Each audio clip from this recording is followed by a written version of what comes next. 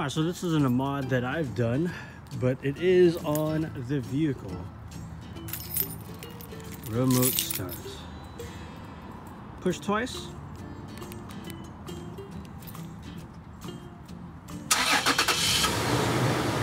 Ooh. Starts it.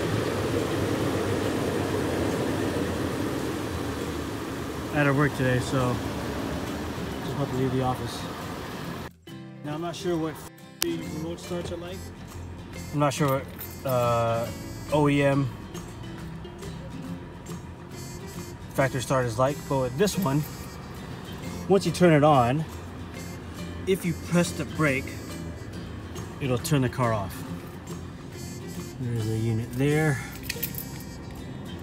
Uh, can you see?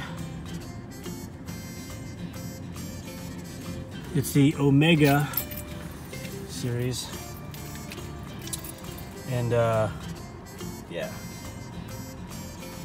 Current temps, it's the warmest it's been in a while. So in order to keep the car running, once you get in the car, again, like I said, if you press the brake, it'll cut the car off, turn the car off. So what you need to do, insert the key.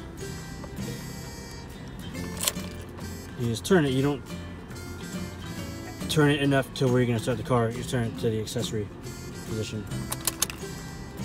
And there you go. Step on the brake, and it stays on. Cool little thing for this 4Runner.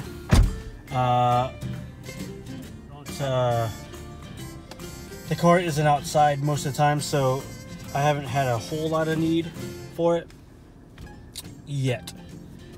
Uh, but I have used it um, when we've gone camping and stuff to just warm up the car. So there you go.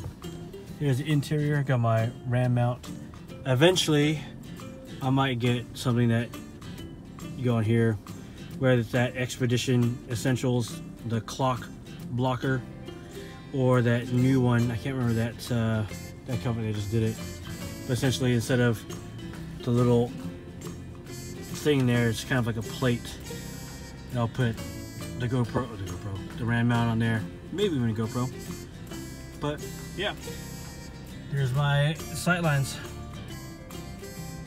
Go on dish light there, going over there.